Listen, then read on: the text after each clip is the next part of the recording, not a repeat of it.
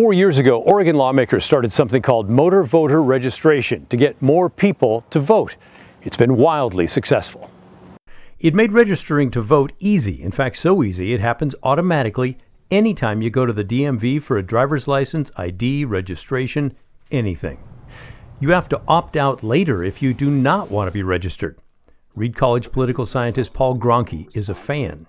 I am hoping in the long run, as automatic registration moves across the country, that we'll have less polarized political parties because both parties will want to respond to these, these new voters.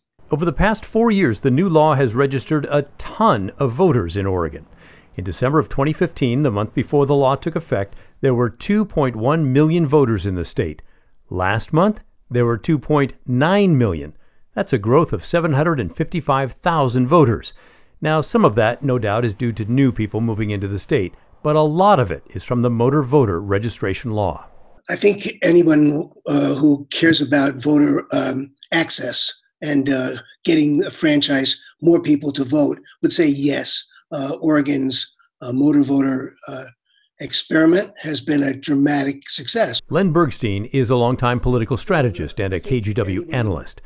When voters are registered at the DMV, they're put into the unaffiliated category, not Democrat, not Republican, not anything else. They can send a card to declare a party, but a lot don't.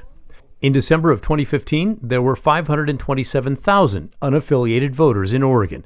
Just four years later, with Motor Voter, there are more than 938,000. That's an increase of more than 400,000 voters. It's a voting bloc so big now that people running campaigns are targeting them.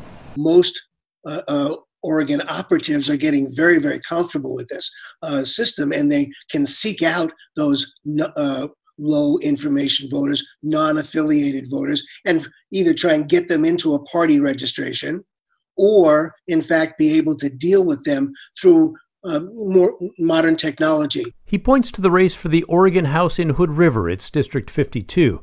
Anna Williams is the Democrat incumbent, Jeff Helfrich is the Republican challenger.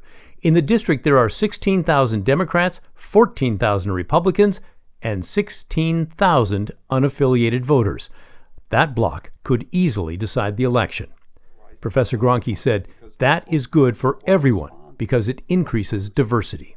Those younger folks, uh, houseless folks, uh, newly enfranchised citizens, Latino immigrants, these folks are now part of our system and they're going to be drawn into our system. And so we're going to have a more responsive and representative system because these diverse voices are being heard by politicians.